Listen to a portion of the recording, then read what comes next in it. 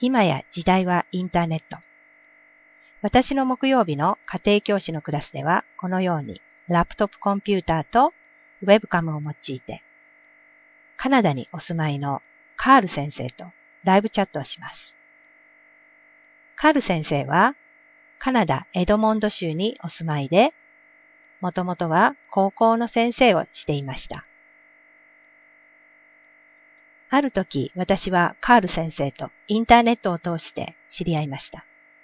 そして、私が英語を教えていると言いますと、ぜひ、ネイティブスピーカーとして英語を指導したいというふうにおっしゃってくださいました。このようにして毎週木曜日、私の生徒さんたちはネイティブスピーカーであるカール西村先生とライブチャットをしています。この日のレッスンは、カール先生がある一文をご用意してくださいました。I'm going to the supermarket to buy some food.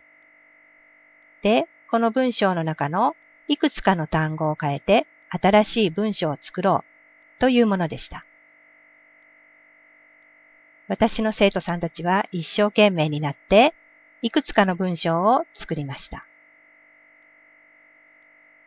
自分の言葉で表現する。それが狙いのカール先生とのレッスンでした。Now the time is internet.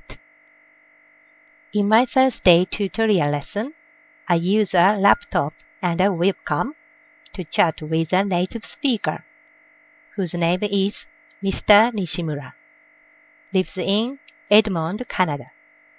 He used to be a high school teacher and retired, and then he started helping people who want to learn English with a native speaker.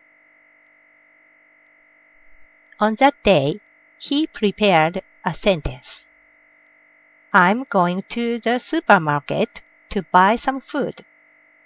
And he asked us to change some words to make new sentences. And my student worked very hard.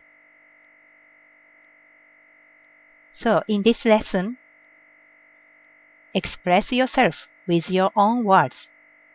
Mr. Nishimura encouraged my student to use English as much as they can. I could learn many things from him. I really appreciate his dedication to my students and me. Thank you very much.